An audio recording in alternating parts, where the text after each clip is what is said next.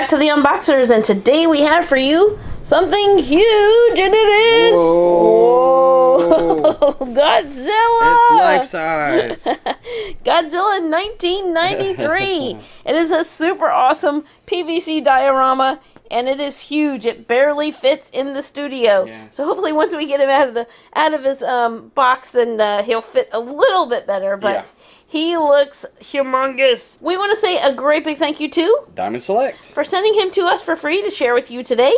So um, I know there's a, quite a bit of glare on the box. You can't exactly You tell. just get like a silhouette. It looks like he has two wings of plane a plane. Yeah, I think he's tearing like a, a plane up. Yeah, it it, it looks like I that. think that's There's what it like looks some like a futuristic. pieces down in there. Yeah, let's turn it around so we can take a look. Yeah, I think the artwork At the back? See it without. Whoa, there you go. Now you can kind of see what's going on. Whoa, that's really cool how they did the purple sky, a little bit of lightning going on there. Um, and this one was designed by Joe Allard, and sculpted by. Jorge Santos Souza. So it looks really awesome. Can hardly wait to get him out of the box. Looks like he's going to have some blue tint on his um, yeah, I think scales he's back powering there. up, so yeah, his spines are He's gonna powering up.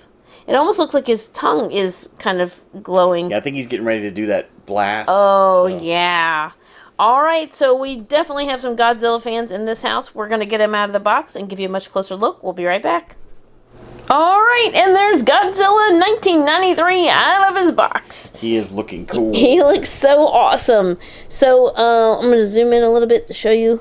Then we'll pick him up and show you some of the details. Maybe turn him to the side so we can see that blast. Yeah, that was something that I you couldn't see from the, the box art, but he actually has the blast. Yeah, put your hand down. behind it because he's kind of blending in. There you go. He's kind of blending in with our background there. But it looks like he has destroyed um, an airplane jet of some sort. Um, and then, let me see here. He's also, I think this is the easiest way to do it, is to zoom in and point out. So, um, point out the parts on the front that look like Mecha Godzilla. Yeah, so if you look like in the front, you can see the tail. Um, and then on the side, you can see his arm. Um, I'm not sure if that's part of Mechagodzilla uh, or not, but then it also looks like there's some pieces to a tank. That looks like almost like here. a, um, like I said, a, a, a satellite dish or a radar or Yeah. something like that. Um, and then look at the blue coming down his scales. Yeah, that is really cool. Really, really cool. Here's his tail curved over, and the details on the other Yeah, side. this is the first one. The other one there. that we did. He's coming out of the water, so his he's kind of like from here up, so we don't, we right. don't actually see his tail. This is the first time we've actually had one that has the whole with tail the complete included. tail cur- curved all the way around. Now this bottom piece, like right here, is actually translucent. So if you lift them up and you look at the bottom of the I don't know if you can diorama, tell From, Yeah. you can tell. and so that part is uh, you could put a strong light over here, and this would glow, and then he would be um, on top of like you know it would glow and Yeah. give a really cool effect.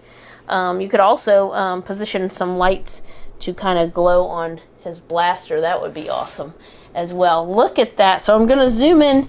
Um, I think this is the best way to do it because holding him up he's so big. There we go. I'm going to zoom in. Let, let you look at his teeth, his eyes. He means business. I'm tell you what. Check that out. Very, very cool. Around this way. Here's a. Um, there's also quite a bit of detail on the plane. Um, as you can see, like the um, the engines and Yeah, it's just the little engines right here, the little round ones, right? Doesn't that looks like some kind of um, engine? And then like the um, cockpit is somewhere here.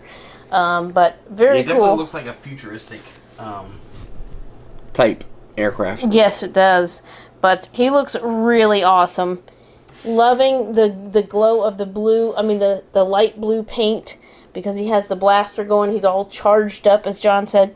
And I like the um, the metal of destruction. The the uh, destruction that he's been um, putting out there. So really yeah, cool. Definitely really cool, and I mean, it's got a really good sculpt. Um, it looks just like the Godzilla from that From 1993. 1993. Yeah. Um, Great year. and Even with all you know, like you were saying, like the details on the airplane and everything, and the texturing. Um, it's just a really cool sculpt on it all overall. He even has his little nails on there too. So, very, very cool. We want to say another great big thank you to Diamond Select. for sending him to us for free to share with you today to add to our awesome Godzilla PVC diorama collection. I think he is a definite must have. I love the fact that you can see his entire tail back there, like you were mentioning. Um, just very, very cool. All right, Yes, so and if you saw our reveal video, you know that we have um, other Godzilla videos that will be coming. So yes, make sure to stay tuned for that. stay tuned. So thank you so much for watching. As always, come back and see us, like, subscribe, and we will see you next time.